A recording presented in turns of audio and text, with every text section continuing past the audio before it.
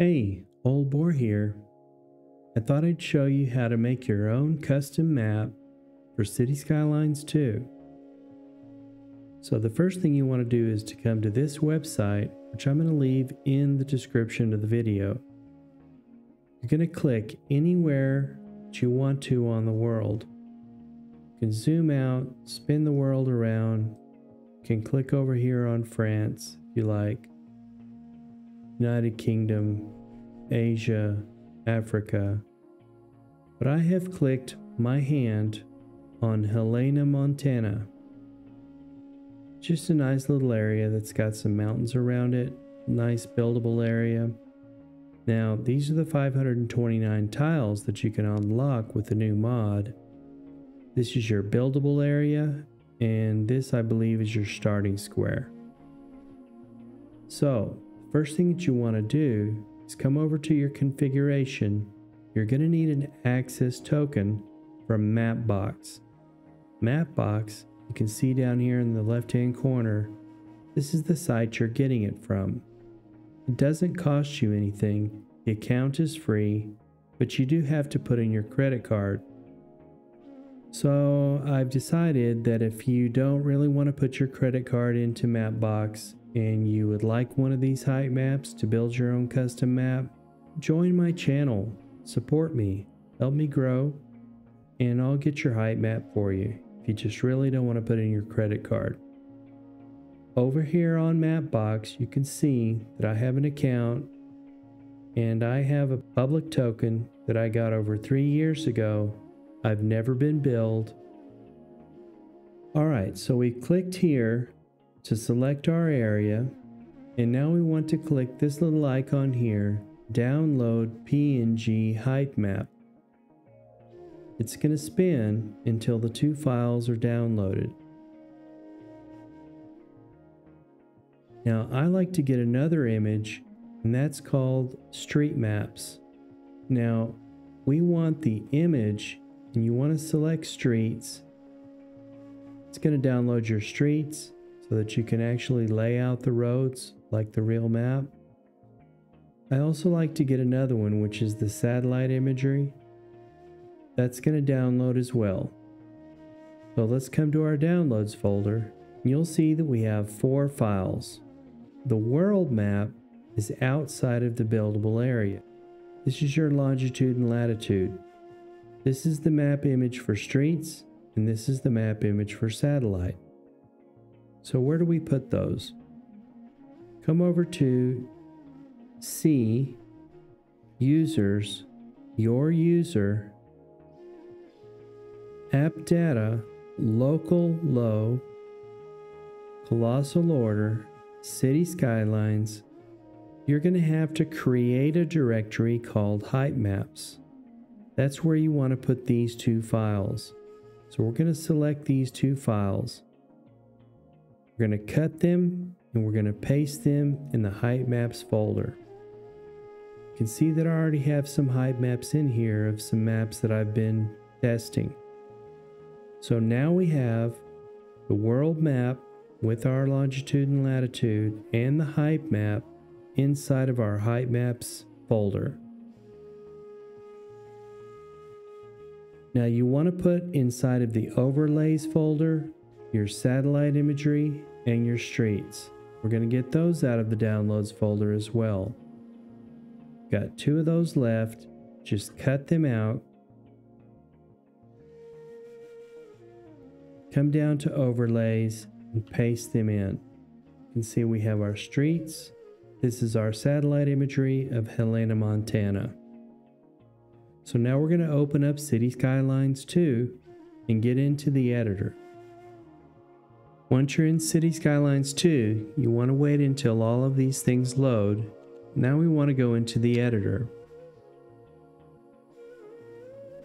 I happen to have the Volturia map theme installed and it's using that, so yours might look a little bit different. Now we want to click on Modify Terrain and Import Height Map. So we're going to import the height map, which is the one that has the longitude and latitude. Go ahead and click load. And now we're going to import the world map that has the longitude and latitude.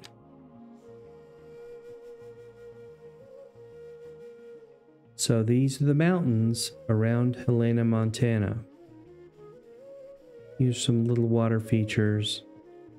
Now, I have a mod called Image Overlay.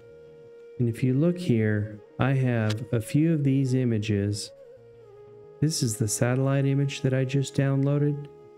And this is the streets image. Now I'm going to select the streets I'm going to go back to the editor and I'm going to click Control O. You can see that the streets are coming in. They're not coming in around this elevated area here. You control and page up, you can see these come in a little bit better.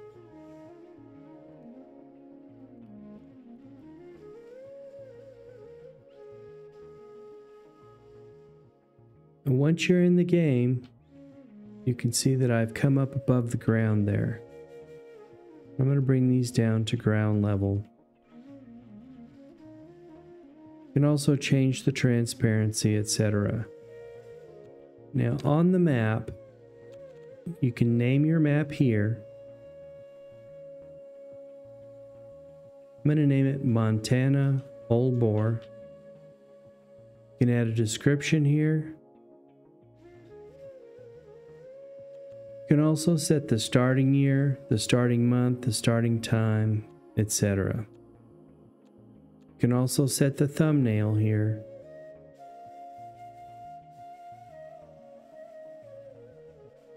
You can change the height scale and lower this down so that you don't have such a pronounced background. We're going to leave ours at 4096. That's what we had. You can see we have some water features here.